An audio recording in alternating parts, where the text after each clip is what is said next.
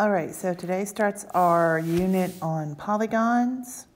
Um, for 8-1, we're going to be working on it all week. So a polygon is a closed figure that is formed by three or more segments called sides. Each segment that forms a polygon is a side of the polygon. The common endpoint of two sides is a vertex of the polygon. A segment that connects any two non-consecutive vertices is a diagonal. So there in our image, you see that the diagonals are in green, the vertex is in red, and then a side is in a light blue. One super important thing about polygons is it has to have straight sides. There can be no curves in a polygon. Here are some names of polygons, and it's really important that you know these names because you might have problems that refer to your polygon being a decagon. What's a decagon? Well, it's a polygon that has 10 sides. So you've got to be able to know these names. Three sides is triangle, four, quadrilateral, five, pentagon, six, hexagon, seven, hep, octagon, 8 octagon, 9 nonagon, 10 decagon, 11 undecagon, 12 dodecagon. And then n, an n-gon, would just be the number of sides. So anything above a 12, like if you had a 14-sided figure, you would say a 14-gon. Or you could say 14-sided figure. But Anything above a 12, you usually won't have a reference to. There are names for them, but they're not quite as important or as practical. So if we were to label the following sides, AE would be a side, BD in green would be a diagonal, and then angle C there, that would be a vertex. Now, tell whether the figure is a polygon or not. If it is a polygon, name it by the number of sides. Example one, all has straight sides. So yes, this is a polygon. Or let me just say yes.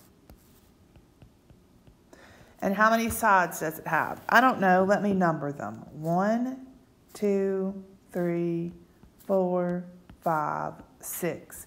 It has six sides. So I'm going to go back over here to my list and I'm going to go down the column and see that a six-sided figure is called a hexagon. So this is a hexagon. Number two, yes, this is a polygon. It's everything is closed. How many sides do I have? One, two, three, four, five, six, seven. I Have seven sides. If I go back and look, a seven-sided figure is a heptagon.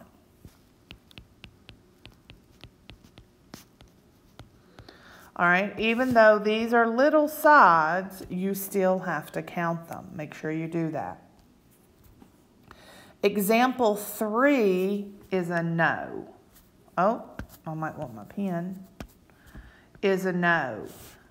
There's a curve. Are any of the other figures a no? Example six would be a no because there's another curve.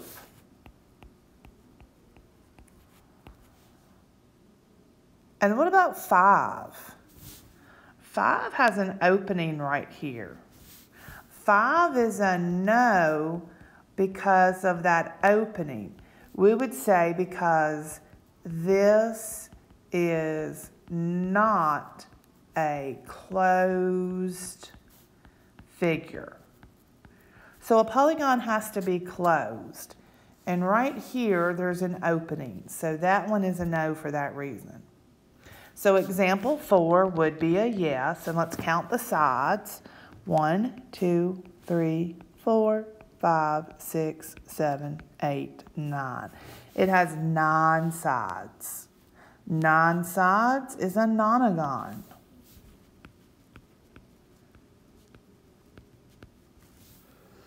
All right.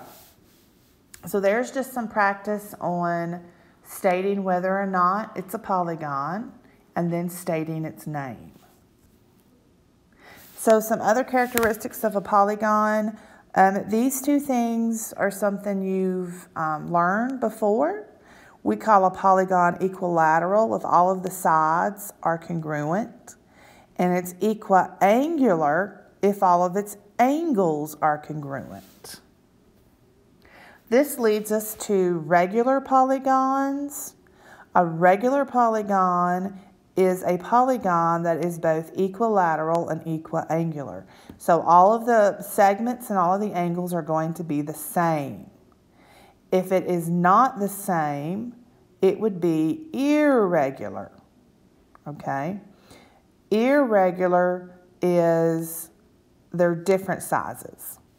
All angles and sides are the same for regular. Let me put that word in there. We also can refer to polygons as being concave or convex. A polygon is concave if any part of a diagonal contains points in the exterior of the polygon. So what does that mean?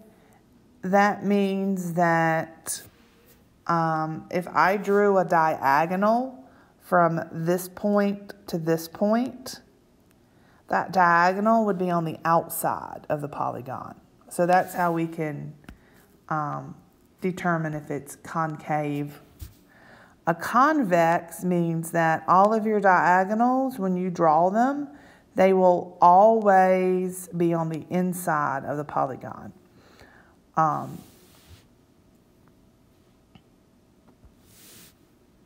so another way you can tell the difference is if you extended the sides um, would those sides all extend to the outside part or would it also, or would it extend into the inside part? All right. So example seven, this is concave. All right, these points right here, so here's a segment. If I extended the segment, see how it goes through the inside of the polygon. Also, if I wanted to check it with the diagonals, see that diagonal's on the outside. Number eight is convex. Nine is convex. And 10 is concave.